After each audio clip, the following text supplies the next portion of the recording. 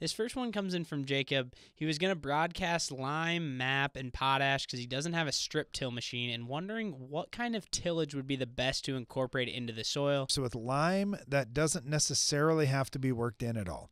And a lot of times with lime, we're just trying to change the top few inches of soil. That's where the pH really needs the most adjustment. But of course, if you've got deep soil samples and you say, no, no, no, I've got a 5 pH as deep as you want to go, great. Uh, you could do some deep till with that. Otherwise, I would say that is not necessary with the lime, and I would prefer not to get the lime in super deep in most cases.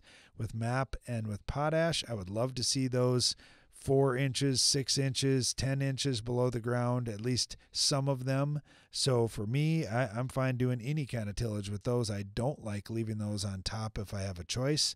So most guys in our geography are running with some medium tillage, putting in MAP and potash, but you could also put them a little deeper if you want. Generally, if we're doing tillage at six inches, we feel like we're getting a lot of the fertilizer down about three. If you're running 10 inches deep, 12 inches deep, you're probably getting it five or six inches in.